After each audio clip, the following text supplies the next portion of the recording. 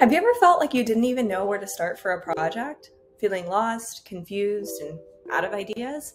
Don't worry, we've been there too. Hey Saki, Hey Laura. what if we made an app that generates project plan ideas for us so we didn't have to do it ourselves? We're always using ChatGPT to come up with ideas. Why don't we make an app that uses AI to do that for us? And that's when AI Project Planner was born. On the front end team, we have Fernando Robles, Laura Guerra, and Saki Chatphatthanasiri. Our back-end team was made up of Garrett Gregor, Amy Marie Spears, Javen Wilson, and Michael Callahan. When you first visit, you can choose to log in as a demo user or use Google Authentication to log in with your Gmail. So here we have our homepage with a short summary of the app's purpose along with the option to view a tutorial or generate a new project plan. I'm going to go with a full stack application type. When I click add technology, languages from the backend and front end are shown and I can select which ones I want. So I'm going to go with React, TypeScript, and Ruby.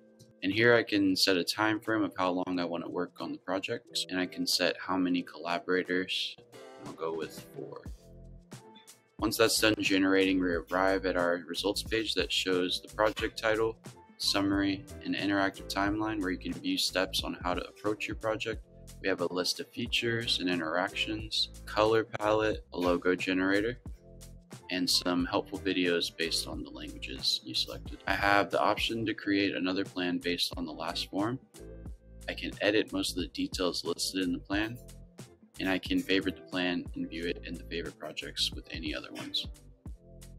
I can also view the entire history of projects created so far, and you're also able to delete these. This app is designed to streamline the project planning process for junior developers, like Turing students. By leveraging advanced AI technology, this app assists users in creating comprehensive project plans and generating innovative ideas tailored to their chosen project type and preferred technologies. We implemented a service-oriented architecture with our users interacting with our front-end deployment on Vercel, powered by TypeScript and React.js, and continuous integration using CircleCI. The requests were sent to the backend, which is deployed on Heroku, powered by Django and Python, continuous integration using CircleCI, uh, PostgreSQL database, and communicating with the OpenAI API to generate responses for the front end. Django is the framework we chose on the back end of our application for a couple of different reasons. One was scalability. We knew that this application was something that was going to be utilized far and wide, and so we knew that being able to build this out to accommodate a lot of different users and a lot of different features was going to be really important.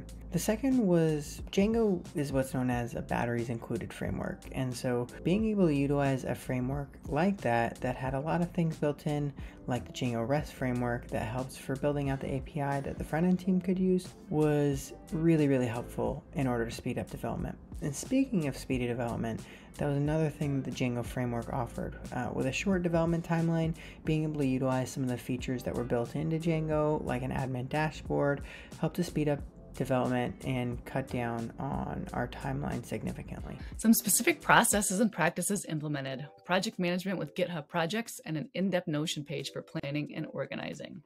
The backend team did individual research and mob coding. Python was a new language for all of us. So we conducted several days of individual research and jointly wrote code. This allowed us to leverage the collective knowledge and skills of a team while maintaining a relaxed Git workflow. Regular communication between full stack teams helped us to continuously modify our code to ensure a seamless integration. One challenge that applications face is large amounts of user traffic and data. In our case, we also have an AI API that users call. One way we would need to change our architecture in order to accommodate is to introduce caching. The areas we can use caching is the saved projects and all projects. Doing so would enhance the user experience, and they would experience less wait time on top of the already extended time it takes to generate a project.